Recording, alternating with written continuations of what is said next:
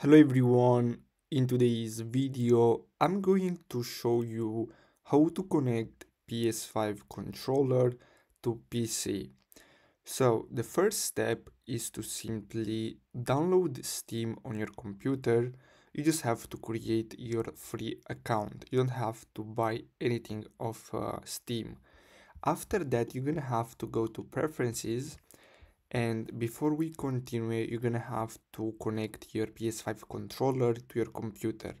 After that simply click on controller at the bottom and simply enable all these options. And here where it says playstation controller support make sure to enable this. Then you're gonna have to click on add a game in the bottom left corner. And here you're gonna have to simply select add a non-steam game after that, you're gonna have to browse, to click on browse and search for Ubisoft.